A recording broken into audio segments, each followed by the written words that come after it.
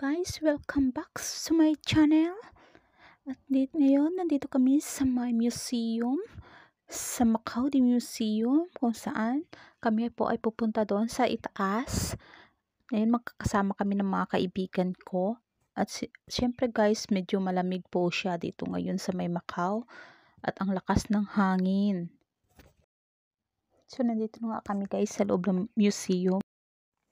At ipapakita ko sa inyo guys ang loob ng museum. At ito na nga ang daming mga display dito sa loob na ito. Tingnan naman ninyo guys, may hagdan. At syempre, aakyat po tayo dito sa may hagdan na ito. At mag-ikot-ikot tayo dito sa loob na ito guys. Kung ano dito ang kanilang mga display pa. At yan, yung kasama ko sa ate Jelly. Ang bilis-bilis niyang maglakad. At ngayon, nandito na kami sa Win. Punta na kami sa Win. At dito na ang shuttle bus na sasakyan namin guys. O tingnan mo naman ang bilis-bilis namin. Ang sarap talaga maglakad-lakad dito sa Macau guys kasi kahit saan ka pupunta ng hotel, pwede ka pong sumakay ng shuttle bus na libre lang. At syempre, habang tayo naghahantay na umalis ang shuttle bus, syempre video-video muna tayo guys. At ipapakita ko sa inyo ang building-building na yan. O, di ba? Ang ganda. Ang ganda din, may mga kahoy. Yan, dito na nga tayo sa may uh, wind Oh, pumasok tayo dito sa kanilang sa loob. Oh, di may padi carpet pa sila guys. Ang ganda talaga dito. Napakalinis ng hotel na ito at ang bango-bango guys. Ang dami-dami pang mga tao. At syempre may mga casino din po dyan. Oh, ayan na. Ikot ko sa inyo at dyan yung casino na yan. Ayan. Pero bumalik kami kasi hindi namin alam ang exit. Ayan. Lakad ang lakad. Lakad pa ng lakad. Sige lang hanggang sa nagkaligaw-ligaw na kami. O, oh, ayan na nga. O, oh, ayan. Hindi namin alam guys kung saan kami pupunta. Kung saan kami mag exit dyan. Dito sa left or dito sa right.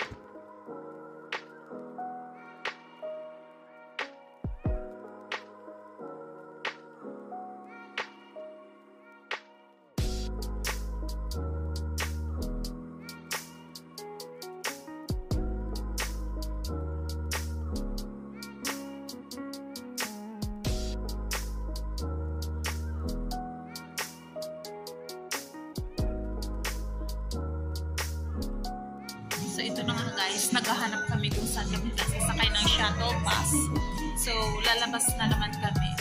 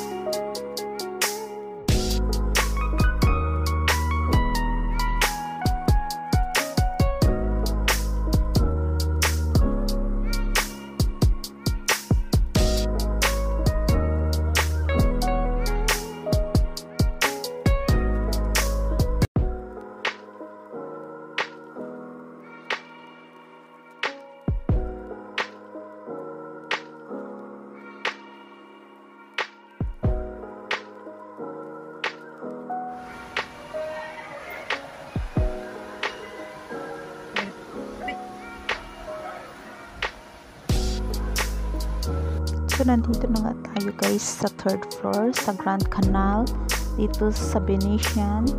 Yan, dito na nga tayo. At syempre guys, bago ang lahat, may ipapakita ko sa inyo dito, yung may tubig po dito.